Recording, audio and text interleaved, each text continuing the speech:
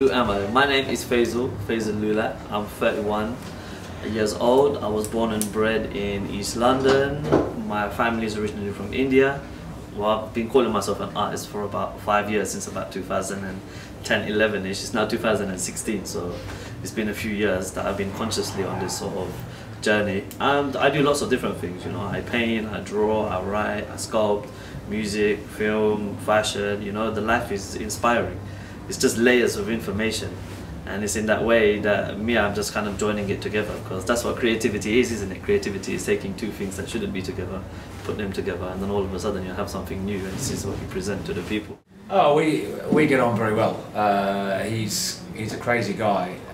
He's someone who thinks on his feet and thinks very very quickly. Um, he's got a very quick mind.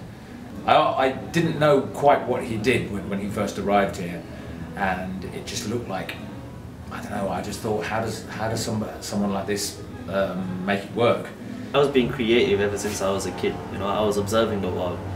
When I look at my reports that my teachers were writing when I was a little kid, you know, it was like, oh, creative play, da da da da da da. You know, always I excel at the creative things, and in that way, I just sort of progressed with it through the educational system. I left university sort of just about because you know I used to like questioning the system.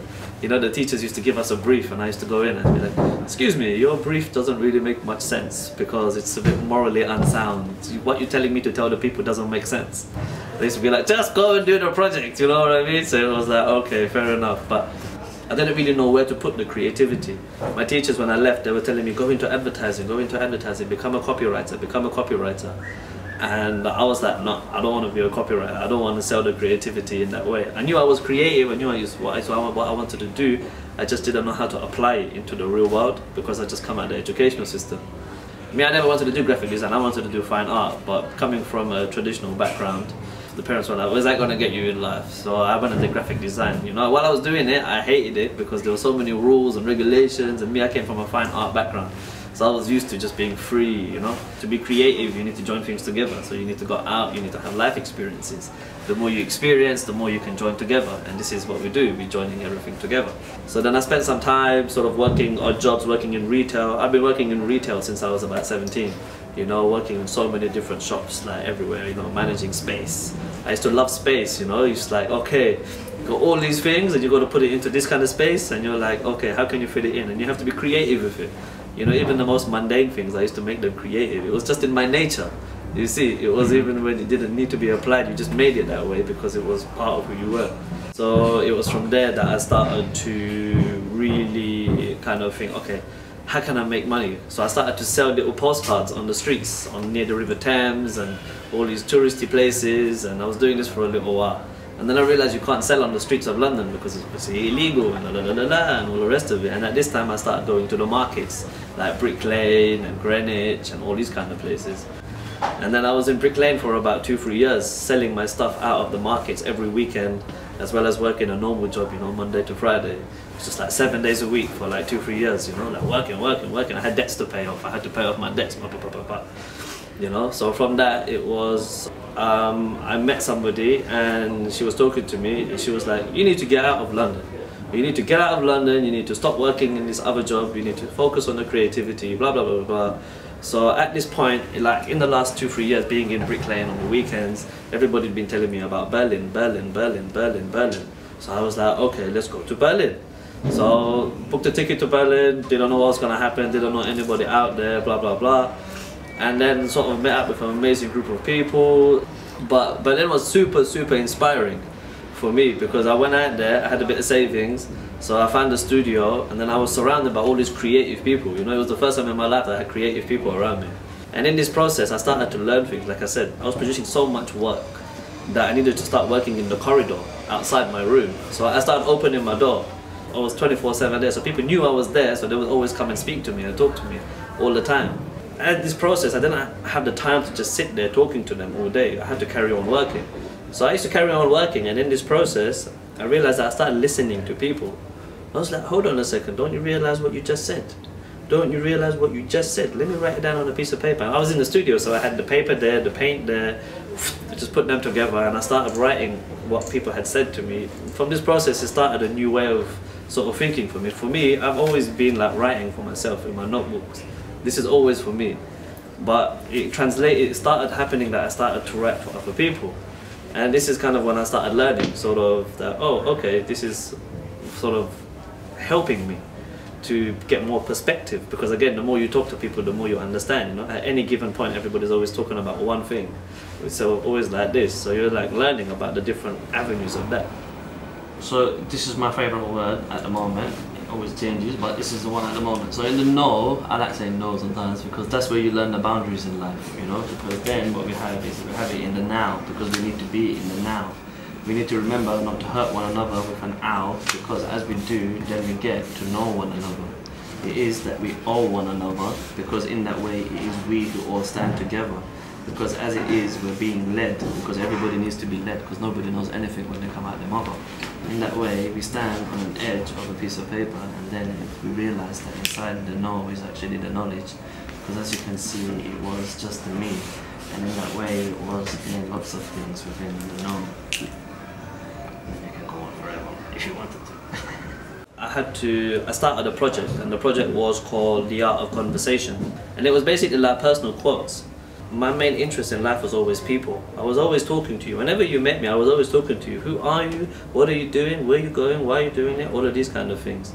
So in this, I was always just talking to the people about the people. But I realized that in the nature of my work, it became very much in the moment. So I started talking to the people, learning about them, and then making them bits of text specific to whatever they were telling me about themselves. If I was talking to, say, for example, one person, I couldn't talk to anybody else that was in the room because it was quite intimate, this process. So I had to start something. So I started this roll of paper that you sort of, that I'm sitting in. And this is called the story of everyone. So this happened on a whim. I didn't mean to, for it to be so, like, massive. But it was basically, the shop was new, I had all this amazing product in the shop, and everybody was walking past. But it was the nature of the place. People were just used to walking around. So what I had to do was I had to stop them. If you stand outside and you say to people, come in, they don't come in. You know? So if you say to somebody, give me your word, you have to stop them for a second. Ah. And me, that's all I need with you. I need a second. Once I have a second, I have you. Because it's just engaging with somebody. And in this process, sort of, I used to have the roll of paper. It used to go from the middle of my room to about halfway outside. And it was one word from everybody they used to give me. And I was writing this story which read with some sort of sense with all these random words, one after the other. The roll of paper ended up being over a kilometer. But during this period, as they used to give me the words, I started to do weird things with the words, but also ask them about the words too. So you can imagine how many times the word love came up. But it was like, okay, I got tired of writing the word love. If I wrote the word love every time somebody gave it to me, I would have about a million loves in this like thing here. And it's boring. So I'm like, okay, fine. Tell me about the love. How do you know it's love? How do you maintain the love? Da, da, da, da, da, da. And from that, what you do is you are standing there and you start to learn different angles of the love, the different definitions and the different ways that the people feel and look at it. And then you start to have real power. And then what you do is you write it down, you make sense of it. But what happened in this period is it did something to my brain. As in the way I started looking at the information in front of me. Because, you know, before I was a painter, a writer, a sculptor, all of these sort of things. But then I became more performance because I started engaging more people at the same time. It was like me and there was about 20, 30, 40 people. And you're talking to them and they're listening to you. And you're like, why the hell is this guy listening to me? It's just like, and this is sort of what started happening.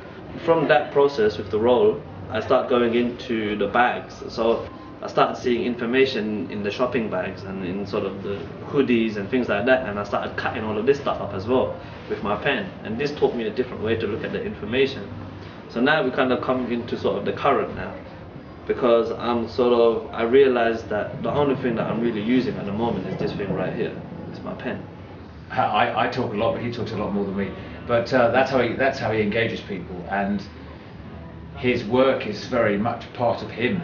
I think it's very personal. I, I like what he does. I like how how he he thinks. Um, takes something you know like something you see every day, like a, a supermarket carrier bag, scrubs out some and changes it around and, and alters things. And I've seen him talk to people, and he says, "I'll think of a word," and from that one word, he'll he'll get a whole list of, of things. And I just think, blimey, that's you know that really is an active mind up there. Uh, so I wonder how he gets to, how he sleeps at night. He's a performance, you know. He does a, it's kind of poetry what he does more than art in in the sense of painting. So he's very much a person with words and changing words around and altering words and you know, I think he's, he's he's very clever in what he does. He'll make a name for himself. Whatever you know, whatever he does, he's he's determined enough, and he's got a likable personality. You know. You know, if you're an artist, you have to be number one to believe in the work. If you don't believe in it, nobody else is going to believe in it. And you know, because you put in the work out there. So again, it's in that way, you know, because you have to try and sell it to the people, or at least offer it to them in that way. So again, be confident about what you're doing, you know, explore it, put it out there. You need to put it out there. If it's only you who's talking about it, then you're not gonna learn nothing, you know, and you wanna learn.